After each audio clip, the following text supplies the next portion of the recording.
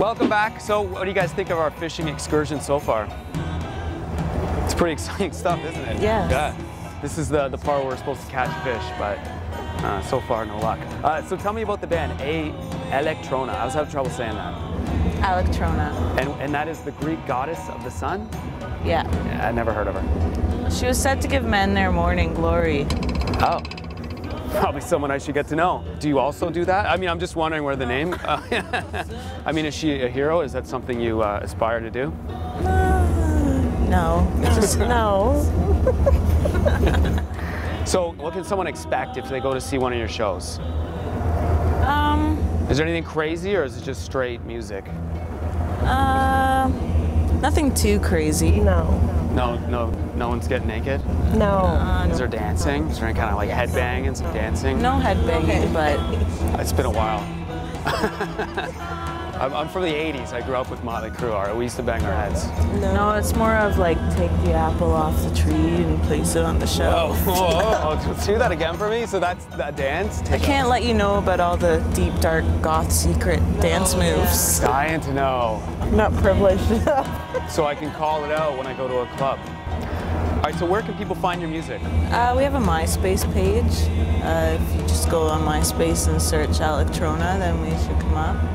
How long did it take you to get into that top? Oh, five minutes. Yeah. And four people. Yeah. Yeah.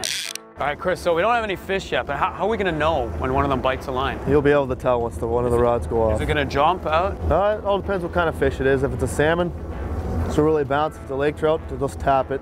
So salmon, you're saying you caught a 30 pound salmon before? Yes. How long did that take to reel in? Hour and a half. Wow. Who, do you take turns? Uh, I had to give it to my dad because I was pretty young, but I didn't want to give up the rod. My arms were getting pretty tired, so I had to. And then he, he went at it for the rest of the time. Yes. So 30 pound fish, how big is this thing? No, he'd be like that, and then he'd be. Did you guys eat it? Well, that's on my wall actually. Oh yeah? Yeah, I stuffed him. That's a good one. Do you guys generally eat the fish you get? Yes. What's the best, trout? Uh, salmon. Salmon, yeah, I guess so. Bad question. Whenever I get a fish on the line, I kind of panic and, and reel it in. But is that what you want to do? Is there a technique to get? Uh, just keep your keep tension on the fish at all times. Don't give him any slack, and you'll be fine. yeah. So I always feel like I gotta just constantly tug and tug. What you gotta do, basically? No, I just keep pressure on the fish. That's all you have to do. What's the best time of year we want to fish? Uh, I like May, Yeah. early June. This time of year is supposed to be good, but we're having troubles right now. Actually, the last two weeks have not been that good. And then uh, does the time of day matter? Yes, uh, morning, early morning is normally the best time, and late at night when the sun's just going down. Hopefully we can get one. We'll see what happens. And how far down? We got these downriggers. How deep are these? Uh, they're all over the place. I got two pretty close to the bottom, and I got the rest scattered to try to find the fish. And we have a sonar, right? Yes, we do. See fish down there. There's fish below us. There are fish below us. They're just not active right now. We can see like six or seven. You ever see like coming? There's like 80 on there. yeah, you see them balled up in schools. Oh yeah. Yep. Wow. So is it usually like really hit or miss? Like you get none or you get a lot? Yeah. We both we basically average about four fish a trip. Oh, that's pretty good. We're gonna bring the average down, I think. I think so too. Well, folks, that's our show. Hope you enjoyed it. I want to thank Rick and Chris for taking us out. You can check out their website, ddfishing.on.ca. They charter boats seven days a week, all year long, out of Kincardine, Ontario. Also want to thank Buford Whitehead, Christina Patelos, and of course, Alectrona, our new favorite band. The girls are going to take us out with some music. Till next time, I'm Rob Cardno.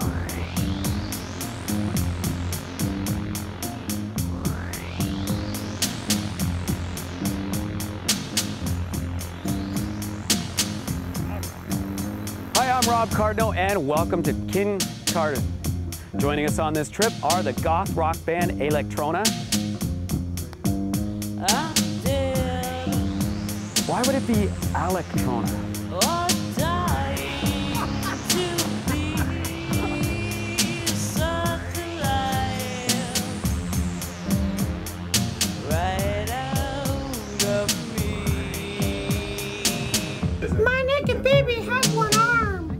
You watch fishing shows?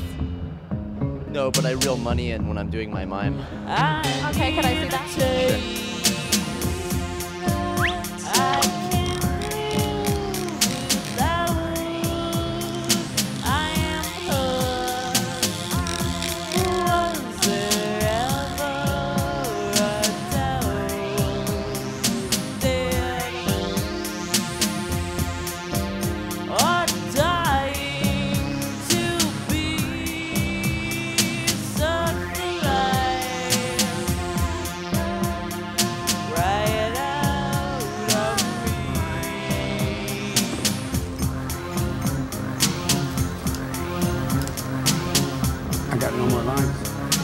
do. They took my fishing. They took my fishing in, Robert.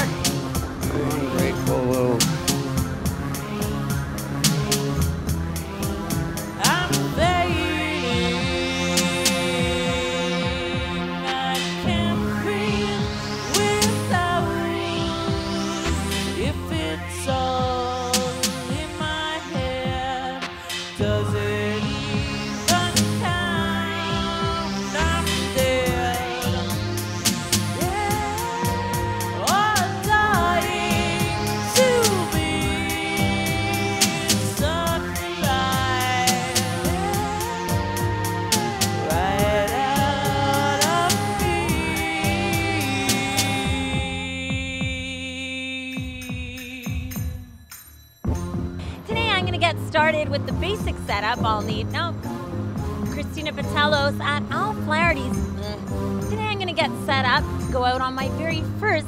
Uh, I'd watch if he was on there. Thumbs up for him as a fisherman. Rob Cardno. I'm on it, yeah. Captain Rick and his first mate Chris will be taking us out on 28 feet of chart truck. Wampum charter vessel. Is that comfortable top? Can you eat them raw? Like sushi, you know what I mean? You could, but I, I don't like that kind of stuff. I'd rather cook them.